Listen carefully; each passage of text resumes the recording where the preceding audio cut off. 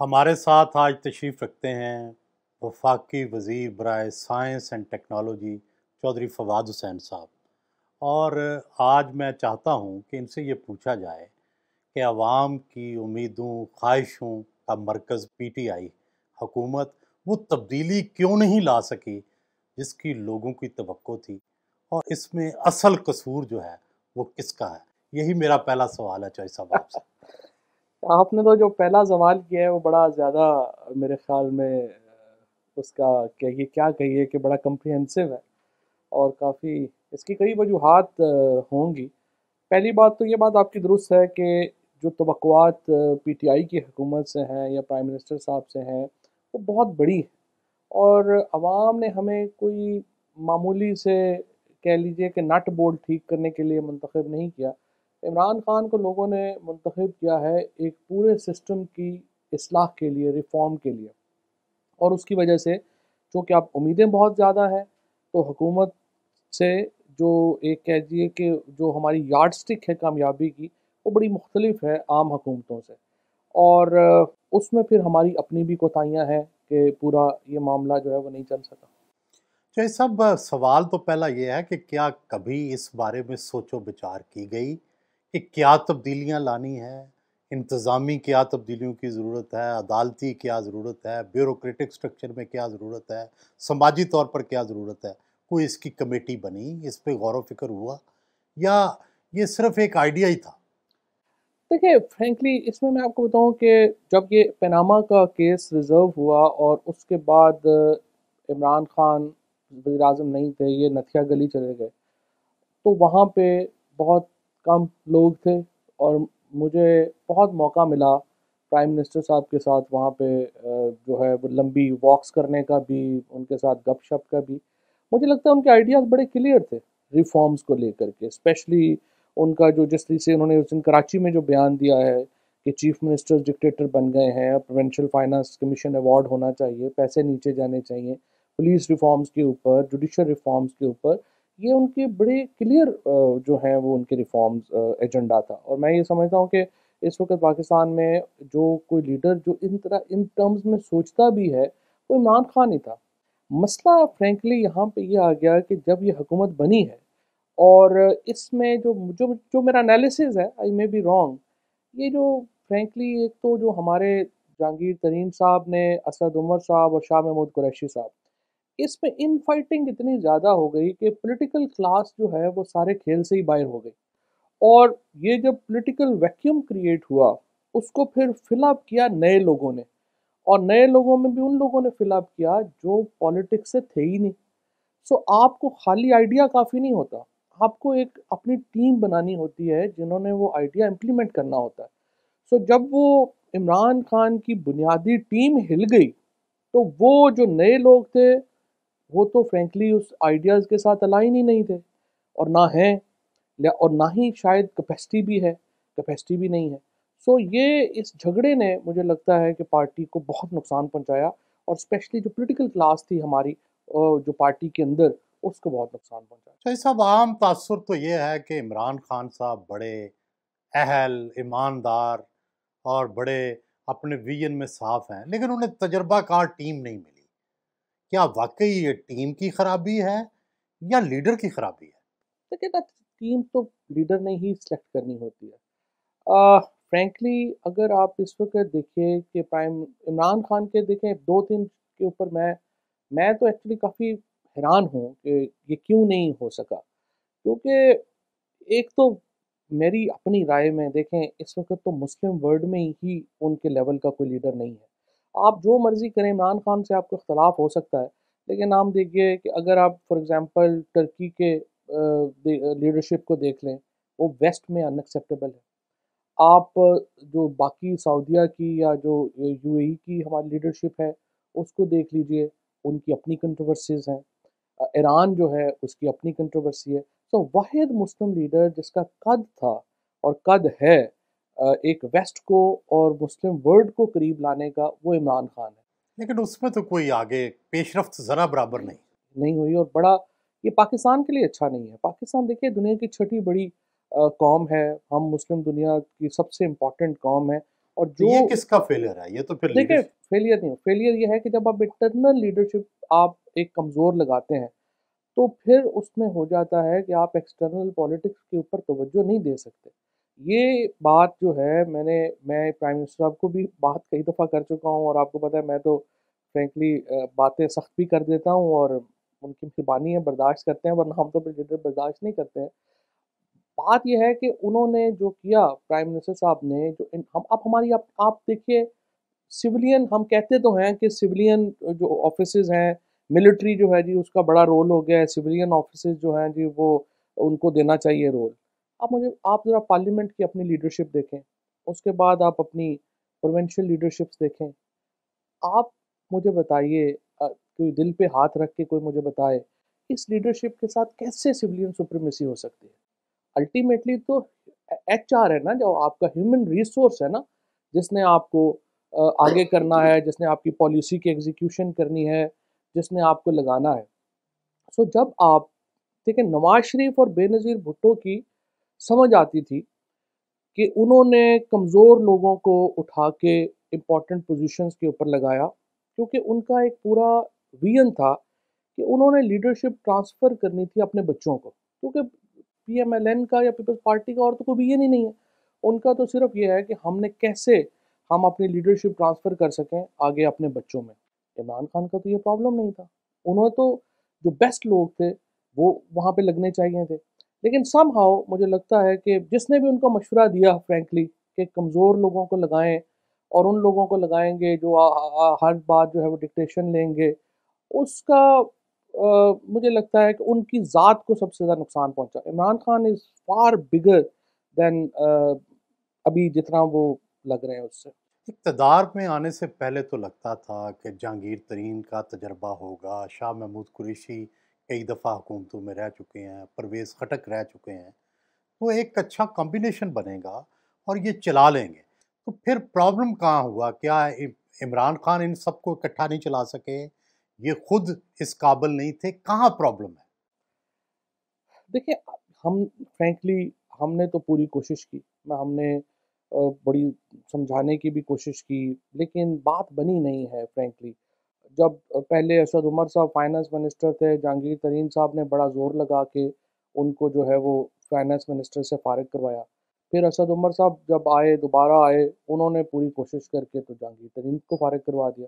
اور اسی طرح سے شاہ محمود قریشی صاحب نے بھی ملاقاتیں ہوئیں ترین صاحب سے، لیکن ان کی کوئی آپس کی کوئی بات بنی نہیں ہے۔ مجھے نہیں سمجھ آئی فرینکلی کہ آپ لڑائیاں بھی ہوتی ہیں اور پارٹیز کے اندر ایک اپنا ایک اپنی اپنی گروپنگ بھی چلتی ہے۔ لیکن آپ اپنے ہی جو جس شاخ پہ بیٹھے ہوں آپ، اس کو تو نہیں کاٹ دیتے۔ تو مجھے لگتا ہے کہ ہماری جو انٹرنل فائٹنگ تھی between these three four top leaders اس نے نہ صرف پارٹی کو بڑا نقصان پہنچایا، بلکہ اس کے نتیجے میں پوری پولیٹیکل کلاس آؤٹ ہو گئی اور ان کی جگہ جو ہے وہ بیوروکریٹس نے لے لی۔ اور پرائم منسٹر صاحب کا جو ایک ویژن تھا یا جو جس طریقے سے امپلیمنٹیشن ہونی چاہیے تھی، وہ ہوئی ہی نہیں۔ اب اب اندازہ لگائیں دو سال ہو گئے ہیں جو بچے ہمارے ادھر دھرنے میں شریک تھے۔ پہلی کیبنٹ میٹنگ سے یہ بات میں کرنا شروع ہوا ہوں کہ وہ کیسز ہم ختم کریں۔ ہم ان بچوں کے اوپر وہ کیسز ختم نہیں کر سکتے۔ جو بنیادی کچھ اگر آپ سٹیپس کہیں پولیس ریفارمز کے، بنیادی کچھ سٹیپس کہیں ہم جوڈیشل ریفارمز کے جو ہم نے ایس او ایز کے اوپر چیزیں بنائی تھی ساری اسٹینڈ اسٹل ہیں۔ اور فرینکلی ایک روٹین گورنمنٹ ہم چلا رہے ہیں۔ لیکن یہ کیا وجہ ہوئی کہ جو اسپیشل اسسٹنٹس ہیں پرائم منسٹر کے، وہ اتنے اسٹرانگ ہو گئے بیوروکریٹس اتنے اسٹرانگ ہو گئے کہ انہوں نے ٹیک اوور کر لیا ہے۔ اور پولیٹیکل کلاس رجسٹ بھی نہیں کر رہی۔ آپ بھی ہیں اور بھی بہت سارے لوگ ہیں۔ کیا ان کو ان پٹ نہیں دینی چاہیے؟ کیا ان کو پولیٹیکل اپنا ورک نہیں کرنا چاہیے؟ کل آپ نے الیکشن نہیں لڑنا۔ دیکھیں یہ ایک اس وقت جو سچویشن ہے نا فرینکلی جس طرح سے آپ نے کہا ہے کہ حکومت سے وہ جو توقعات ہیں وہ پوری نہیں ہوئی ہیں لیکن اپوزیشن سے بھی کوئی توقعات نہیں ہے لوگوں کی۔ آپ یہ کہہ سکتے ہیں کہ حکومت نیچے آئی ہے لیکن اپوزیشن اوپر نہیں گئی ہے۔ So it's a Lal period جو درمیان میں ہے۔ عام طور کے اوپر زیادہ تر لوگ جو ہوتے ہیں نا وہ اسٹیٹس کو کے ساتھ چلتے ہیں۔ لیکن لل کے بعد سٹام آ جاتا ہے نا۔ یہ میں یہی کہنے لگا تھا ہوتا یہ ہے کہ لوگ اسٹیٹس کو کے ساتھ چل رہے ہوتے ہیں، لیکن اچانک ہی چیزیں سرک جاتی ہیں۔ اور ہمارے ہاں جب بھی یہ آپ دیکھیے کہ ہمارے گورنمنٹ جو ہوتی ہے وہ دو لیگز پہ چلتی ہے، ایک اپنی پالیٹکس کے اوپر، دوسری اپنی گورننس کے اوپر۔ اگر آپ اپنی پالیٹکس اور گورننس کو بیلنس نہیں کرتے، تو آپ کسی وقت بھی جو چیزیں ہیں وہ سرک جاتی ہیں۔ اور اور عمران خان کو احساس بھی پورا ہے۔ پرائم منسٹر صاحب نے آخری کیبنٹ میٹنگ میں یہ کہا کہ آپ کے پاس ساڑھے پانچ مہینے ہیں پرفارم کرنے کے لیے منسٹرز کو کہا۔ لیکن اور ان کو یہ اس کا مطلب یہ ہے کہ ان کو پورا احساس ہے کہ ابھی آپ کے پاس چھ مہینے میں آپ نے اپنے آپ کو اوپر لے کے جانا ہے تگڑا کرنا لیکن کیسے؟ چھ مہینے بعد کیا انہوں نے ڈیڈ لائن مقرر کیا؟ انہوں نے یہ کہا منسٹرز کو کہ اس کے بعد جو ہے وہ وقت جو ہے وہ آپ کے ہاتھ سے نکلنا شروع ہو جائے گا اور دوسری طرف انیشیٹو دوسری طرف چلا جائے گا۔ میں کہنا یہ چاہ رہا ہوں کہ پی ایم کو بھی احساس ہے کہ یہ جو انیشیٹوز ہیں یہ اس طرح سے نہیں ہوئے۔ لیکن پرابلم کیا ہے؟ آپ کی پولیٹیکل ٹیم جو ہے وہ نہیں ہے۔ آپ کی گورننس ریفارمز کی ٹیم نہیں ہے۔ اور جو ہے مطلب ڈاکٹر عشرت حسین تو انیس سو اڑسٹھ سے یہ کام بتا رہے ہیں۔ وہ تو اگر لانا ہوتا تو وہ پہلے لے آتے۔ فار ایگزامپل میرا، مجھے انفارمیشن منسٹری سے آپ کے پاس بڑے بڑے قابل لوگ ہیں۔ ثانیہ نشتر صاحبہ ہیں۔ آپ کے پاس اور ایس ظفر مرزا صاحب ہیں جو ہیلتھ کے ہیں۔ تو یہ کیا آپ پولیٹیکل کلاس سمجھتے ہیں ان کو یا ابھی ٹیکنوکریٹی سمجھتے ہیں آپ؟ نہیں، دیکھیے نا، ہوتا کیا پارلیمنٹری پہلی بات تو یہ ہے کہ آپ کو پارلیمنٹری فارم آف گورنمنٹ کا سمجھ ہونی چاہیے۔ پارلیمنٹری فارم آف گورنمنٹ میں کیا ہوتا ہے کہ وہ کہتے ہیں کہ آپ ایکسپرٹس کو ڈسیزن میکنگ پروسیس میں وہ شامل ہوں گے۔ ڈسیزن میکنگ پروسیس کے لیے ان سب لوگوں کو ساتھ رکھنا چاہیے۔ لیکن ڈسیزن میکنگ الیکٹڈ لوگوں نے کرنی ہوتی ہے۔ ڈسیزن میکنگ آپ پارلیمنٹ پریزیڈینشیل فارم میں اور پارلیمنٹری فارم میں فرق یہ ہے وہاں پہ پریزیڈنٹ جو ہوتا تو کیا اب یہ پریزیڈنشل فارم کی طرف ہم چلے گئے ہیں؟ لیکن اگر آپ اتنے ایڈوائزرز ہوں گے ہمارے اتنے ایسے پی ایمز ہوں گے اور الیکٹڈ لوگ جو ہیں وہ منہ دیکھ رہے ہوں گے ایک دوسرے کا اور وہ کسی بھی جو ہے وہ کی فیصلوں میں ڈیسیجن میکنگ میں شامل نہیں ہوں گے تو ظاہر ہے پھر وہ پارلیمنٹری فارم آف گورنمنٹ کے اوپر تو کوشچن مارک آ جائے گا نا۔ ابھی ایشو یہ ہے دیکھیں ہمیں ایک اس میں دیکھنے والی بات یہ ہے کہ یہ جو پرابلم کیا ہے پرابلم یہ ہے کہ عمران خان کی جو ناکامی ہے وہ ایک انڈیویجول کی ناکامی نہیں ہوگی۔ یہ پورے پاکستان کی سوسائٹی کی ایک خواہشوں کا دار و مدار ہے، وہ ایک مدار المحام ہے پاکستان کی عوام کی خواہشوں کے۔ سو وہ افورڈ ہی نہیں اس وقت کوئی کر سکتا۔ اگر فوج بھی ان کو سپورٹ کر رہی ہے پوری پرائم منسٹر کو، باقی تمام ادارے بھی سپورٹ کر رہے ہیں عمران خان کو، کیوں کر رہے ہیں؟ اس لیے کر رہے ہیں کہ آپ کے پاس اس وقت پولیٹیکل آپشنز جو ہیں وہ نہیں ہیں۔ پھر ہم نے اپنی پولیٹیکل پارٹیز کو تو اسٹیبلش نہیں کیا۔ سب سے بڑا نقصان جو پاکستان میں ہوا ہے، جو اٹھارہویں ترمیم میں نے دیا ہے کہ آپ نے جو مدت تھی پرائم منسٹرز کو یہاں پہ تین دفعہ بنا، دو دفعہ بنانے کی، وہ آپ نے ختم کر دی۔ اس کے بعد کسی کو، چاہے وہ پیپلز پارٹی کی لیڈرشپ ہو، چاہے وہ پی ایم ایل این کی لیڈرشپ ہو، چاہے کوئی اور ہو، وہ پولیٹیکل پارٹیز کو اسٹرکچر ہی نہیں کرتا۔ کیونکہ ضرورت ہی نہیں ہے۔ جب ساری عمر ایک ہی بندے نے رہنا ہے، جب وہ نہیں ہوگا تو دیکھ لے گا۔ جب ان کو پتا ہو کہ میں نے آٹھ سال بعد یا دس سال کے بعد ریٹائر ہونا ہے تو تب پارٹی سٹرکچر بنے گا نا۔ تو پارٹی سٹرکچر ہیں۔ وہ تو پی ٹی آئی میں بھی نہیں ہے۔ عمران خان کے بعد کوئی اور بندہ ہے ہی نہیں دوسرا آپشن پی ٹی آئی نے کون سے آلٹرنیٹو کریٹ کیے ہیں؟ میں یہی تو کہہ رہا ہوں کہ پولیٹیکل پارٹیز تو ہے نہیں۔ یہاں تو لیڈر کے ساتھ ہے نا سب کچھ۔ لیڈر کے ساتھ وہ بستا ہے کیونکہ political parties as an institution پھر یہ لیڈر ہی اپنے ارد گرد لیڈر بنائے گا۔ فار ایگزامپل اگر اگر فرینکلی آج عمران خان مجھے فارغ کر دیتے ہیں تو میں تو فارغ ہو گیا یا کسی کو جس کو بھی وہ کر دیں گے۔ اگر وہ فیصلہ کر لیں کہ میں نے کوئی لیڈرشپ لیڈر بننے ہی نہیں دینا یا بنانا ہی نہیں دینا تو آپ نہیں بن سکتے۔ کیسے بن سکتے ہیں؟ تو جب تک یہ ایک یا تو سٹرکچر ہو یا لیڈر کا دل بڑا ہو تیسرا تو کوئی راستہ نہیں۔ تو یہ دونوں راستے بند ہیں۔ فی الحال تو پاکستان میں یہی لگا چوہی صاحب آپ انفارمیشن منسٹر بھی رہے وہاں بھی آپ نے بڑی تیزیاں دکھائیں ہم تو ناراض ہی ہیں میڈیا والے آپ سے۔ اور پھر اب آپ سائنس کے منسٹر بھی ہیں۔ کیا سمجھتے ہیں؟ وہ منسٹری میں آپ بہتر پرفارم کر رہے تھے اس میں کر رہے ہیں۔ آپ کی پرسنل چوائس کس منسٹری کی طرف ہے؟ فرینکلی شروع میں تو مجھے یہ تھا کہ چلیں ایسے ہی ہے۔ میں نے تو ویسے پی ایم صاحب کو کہا تھا کہ مجھے as an M N A ہی رہنے دیں اور I will be happy to آپ کے وہاں پہ بھی ایسے ہی جو ہے آپ کی سپورٹ کریں گے کوئی ایسا پرابلم نہیں ہے۔ لیکن پھر مجھے جو ہے اپنا زلفی نے کہا کہ نہیں، پی ایم کہتے ہیں کہ آپ لازمن جو ہے وہ بنے۔ تو مجھے انہوں نے ایویشن کا کہا، یہ کہا یہ کہا ناکوٹکس وغیرہ اور بھی تھی۔ تو میں نے کہا، پھر سائنس اینڈ ٹیکنالوجی جو ہے اس کو دیکھتے ہیں بیکاز میرا خیال تھا کہ اس میں پوٹینشیل ہے اور کیا جا سکتا ہے۔ بٹ اتنا پوٹینشیل ہے فرینکلی مجھے نہیں پتا تھا۔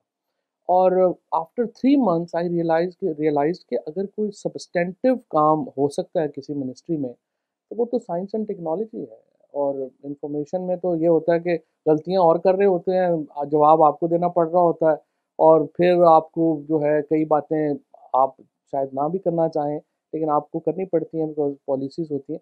لیکن یہاں پہ یہ ہے کہ سبسٹینشیل جو ریفارمز ہیں، یا اگر سوسائٹی کو کوئی سبسٹینٹیو فائدہ ہے تو وہ اس منسٹری سے پہنچ فرض کریں کہ آپ تین سال اور وزیر رہتے ہیں سائنس اینڈ ٹیکنالوجی کے۔ کیا کہاں پاکستان کو لے کے جائیں گی آپ کی سائنس اینڈ ٹیکنالوجی کی منسٹری پانچ سال کے بعد؟ دیکھیں، ہم نے سب سے پہلے آ کے تو میں نے یہ کیا کہ میں نے ایک ریسرچ میپنگ کرائی۔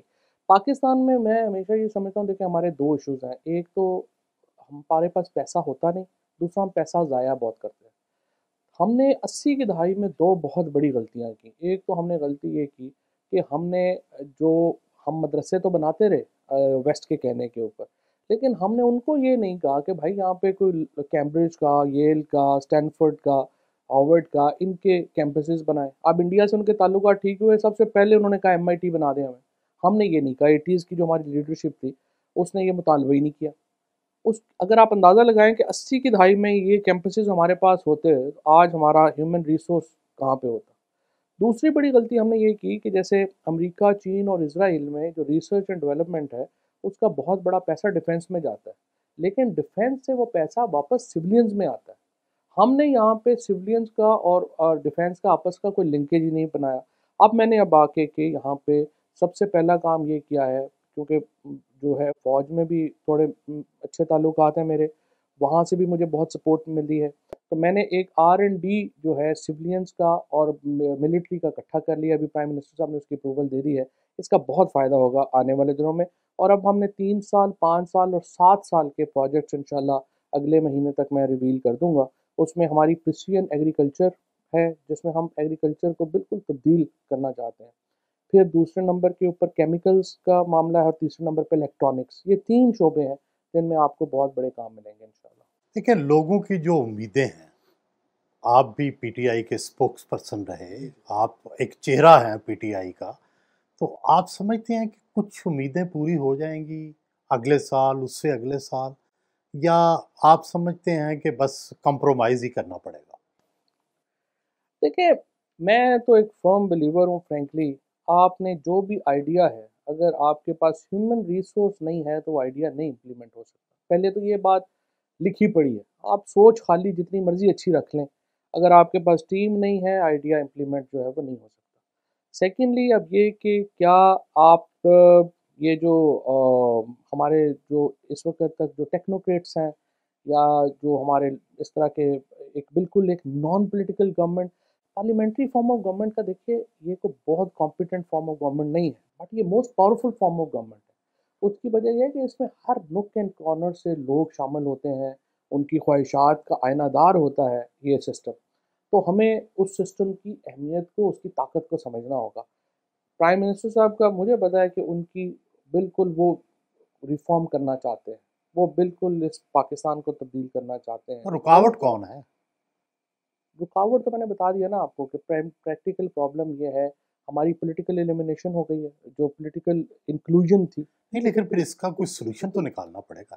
سلوشن تو ہیں بس جب سمجھیں گے تو کر لیں گے اس میں کیا نہیں آپ نے انہیں کوئی مشورہ دیا کہ یہ یہ سلوشن کریں؟ نہیں میرے مشورے آج کل فارغ ہیں مشورے میرے نہیں مانتے لیکن یہ ہے کہ میں دیتا رہتا ہوں۔ چوئی صاحب آپ بڑے لوکل گورنمنٹ کے شروع سے ہی سپورٹر رہے ہیں اور آپ چاہتے ہیں کہ گراس روٹ تک اختیارات لوگوں تک منتقل ہوں۔ تو اس میں اصل پرابلم کیا ہوا؟ اب آگے رکاوٹ کیا ہے؟ چیف منسٹر ہے رکاوٹ۔ یا کوئی واقعی ہی کوئی جینون مسائل ہیں کہ نیچے کیپیسٹی بلڈنگ نہیں ہے؟ نہیں، دیکھیں، سب سے جو بڑی پرابلم ہوئی نا، جب مشرف صاحب کے دور میں جب لوکل گورنمنٹ سسٹم بنایا گیا تھا، اس میں زبردست کام یہ کیا کہ انہوں نے پروونشل جو اختیارات تھے اور فائنانسز تھے، وہ ڈسٹرکس کو ٹرانسفر کر دیے۔ لیکن جو غلطی اس سسٹم میں یہ تھی کہ انہوں نے سینٹر سے پاورز پروونسز کو ٹرانسفر نہیں کی۔ اٹھارہویں ترمیم نے آ کر کے یہ جو پاورز ہیں سینٹر سے پروونسز کو دے دیں۔ لیکن پروونسز نے کیا کیا کہ انہوں نے ڈسٹرکٹ سے ساری پاور واپس لے لی۔ اب اور جب میں پروونسز کہہ رہا ہوں تو اس کا مطلب ہے چیف منسٹر دو عہدے اس وقت پاکستان میں تمام برائیوں کی جڑ ہے یہ ایک تو جو چیف منسٹر کا عہدہ اور چیف سیکٹری کا عہدہ۔ ان دو عہدوں نے ان ٹرمز آف ناٹ برائیوں کی جڑ مطلب کہ وہ کوئی اختیارات اختیارات کے وجہ سے۔ اتنا انکلوسیو اختیارات ہیں۔ اتنا بڑا اختیار مثلا آپ پرائم منسٹر سے بھی طاقتور ہو گئے ہیں۔ پرائم منسٹر سے بہت زیادہ طاقتور ہیں۔ اس کی وجہ یہ ہے کہ پرائم منسٹر کے پاس تو جو مائنس چھ سو ارب روپے سے پرائم منسٹر اپنا شروع کرتا ہے۔ یہاں پہ تو وہ کم از کم جو ہے وہ اربوں ارب ہار روپے سے وہ پیسے اصل طاقت تو فائنینشیل پاور ہے نا۔ فائنینشیل پاور بہت زیادہ ہے چیف منسٹر سے بھی زیادہ۔ ہنڈریڈ پرسینٹ مطلب مثال کے طور کے اوپر اگر آپ شہباز شریف صاحب کو اٹھا کے دیکھیں تو انہوں نے دس سال میں میرا خیال ہے کہ اباؤٹ سترہ سو ارب روپیہ جو ہے، انہوں نے ایک آدمی نے خرچ کیا۔ سترہ سو ارب روپیہ۔ اسی طریقے سے جو آپ اٹھا کے دیکھیں، مراد علی شاہ صاحب نے کم از کم بارہ سو ارب روپیہ انہوں نے خرچ کر دیا۔ تو دیکھیں ان کیا انہوں نے کیا اس کا۔ پولیس بیڑا غرق ہوا ہوا ہے۔ آپ کی جو پٹواری ہے پیڑا تو پھر دیکھیں نا، میں ہوں، وہاں پہ عام آدمی ہے۔ ہم نے کیا کرنا ہوتا ہے روزانہ؟ ہم نے ہاسپٹل جانا ہے، ہم نے اسکول جانا ہے۔ ہم نے زمینوں کا، ہم نے جو ہے وہ، اس کو ہماری جو ہے وہ ٹھیک ہونا چاہیے، سڑک جس کے اوپر ہم چلتے ہیں وہ ٹھیک ہونی چاہیے۔ اس کے بعد آپ نے جو سرٹیفکیٹس کچھ بنوانے ہیں وہ آپ کے پاس ہو گئے۔ یہ سارے تو آپ کے پروونسز میں کرنے ہیں۔ تو پروونسز پروونشل ریفارمز کا کوئی سوچ نہیں رہا۔ اس کا تو بڑا غرق ہوا۔ یہ سب سائنس منسٹر یا سائنس منسٹری کا اصل کام تو ریسرچ ہے۔ ہم کووڈ کا شکار ہیں، ہم ڈینگی کا شکار ہیں۔ ہم زراعت میں پیچھے ہیں، ہم ییلڈ میں پیچھے ہیں، تو اس کے کوئی سلوشنز آپ ڈھونڈ رہے ہیں؟ اچھا، میں آپ کو ایک بتاؤں کہ ایک پاکستان کے اندر جو یہ خیال ہے نا کہ ہماری ریسرچ ہو نہیں رہی، یہ خیال درست نہیں ہے۔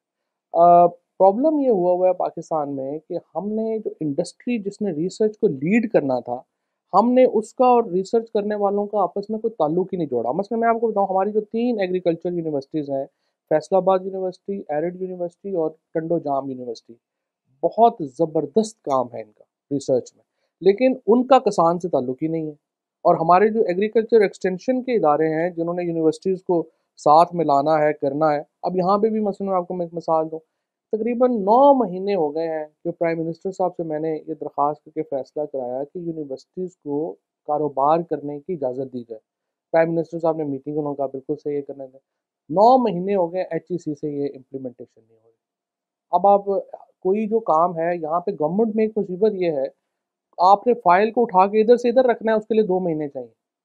اور کیا اس پہ پابندی نہیں ہونی چاہیے کہ کسی ایک ٹیبل پر اتنے خاص عرصے تک فائل نہیں رکھ پہلے اس کو کلیئر ہونا چاہیے؟ دیکھیں نا یہ تو ایک مطلب مجھے آپ بتائیے آج کل کے دور میں یہ واٹس ایپ کا دور ہے آپ پھر بھی خط لکھتے ہیں۔ خط کا جو دو دن پہنچنے میں لگتے ہیں، دو دن وہاں سے آنے میں لگتے ہیں۔ ابھی تو شکر ہے کہ انہوں نے یہ نہیں کہہ دیا کہ کبوتر کے ذریعے جانا چاہیے۔ تو ہمیں اس میں بھی جو جو ہے وہ کرنا پڑتا۔ سو بیوروکریٹک ریفارمز اور گورننس ریفارم تو اس میں بہت ہی مست ہیں۔ اس کے بغیر ہو نہیں سکے۔ اچھا، گا سب آج کے تین سال بعد آپ اپنے آپ کو کہاں دیکھتے ہیں؟ پاکستان میں نا چھ چھ مہینے کی پلاننگ ہوتی ہے تین تین سال بڑی لمبی پلاننگ ہے اور آج کل ویسے بھی ملکوں کی جو پلاننگ ہے نا وہ میں تو یہ سمجھتا ہوں کہ آج کل جو ملک ہے ان کو بھی آٹھ دس سال سے بڑی پلاننگ نہیں کرنی چاہیے۔ کوئی نہ کوئی اعلان مسک آ جاتا ہے کوئی بل گیٹس آ جاتا ہے کوئی زکبرگ آ جاتا ہے اور یہ اس طرح کے کوئی بندہ آ کے پوری دنیا تبدیل کر دیتا ہے۔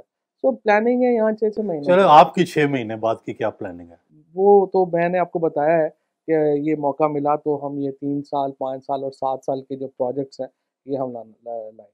بہت شکریہ سر، بہت مہربانی۔